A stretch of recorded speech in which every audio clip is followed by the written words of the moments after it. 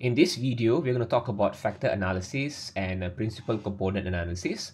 I'm going to explain to you briefly what is factor analysis and I will be running principal component analysis using SPSS and I would be interpreting the output uh, one by one and in this video particularly, we'll be looking into KMO and Bartlett's test. So what is factor analysis here? Yeah. Factor analysis is a technique to reduce a large number of variables into fewer number of factors.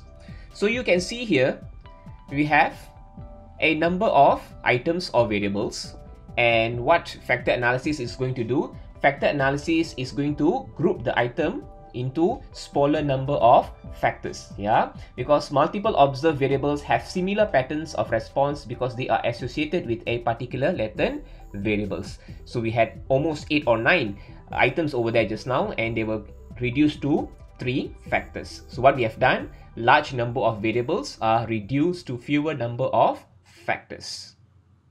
Next to run principal component analysis we'll be using SPSS so let's get into SPSS now so using this data set, yeah, you can see I have uh, nine items over here. So what you do, you go to analyze, you go to dimension reduction, you go to factor. So what we are going to do, we are going to select all these uh, items into the section variable here. So you click shift and you just click on the last variable here and click this arrow and all your variables are already here. Yeah. Next, what you do, you go to descriptives. So in descriptive, these are the two main things that I want to tick here. In your correlation matrix, I want to tick KMO and anti-image.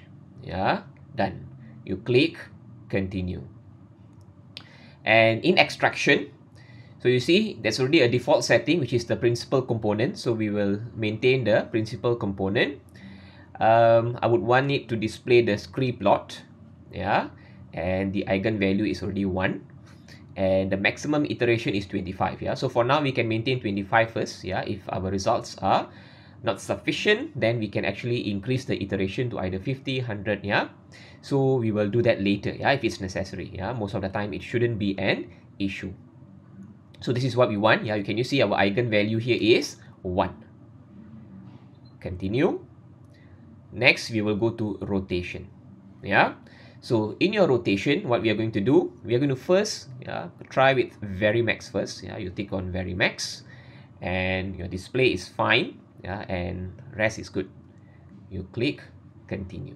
Yeah, so this is what you have to do at the uh, first stage first. Yeah, so we are done. We have done setting everything. What you do is that you go and click OK. So this is the output yeah that is being generated. So what i'm going to do i'm going to explain all this output to you one by one yeah and interpret all these values to you. From the output table in this video i'm going to explain to you kmo and Bartlett's test. So let's go into KMO first. So you can see the value of KMO here is 0.641 and the value must be greater than 0.5 so we are fine with that. We have no issues. And the next one is Bartlett's test. And the value here is significant yeah? The value is less than 0.05 which indicates that the items are significantly correlated.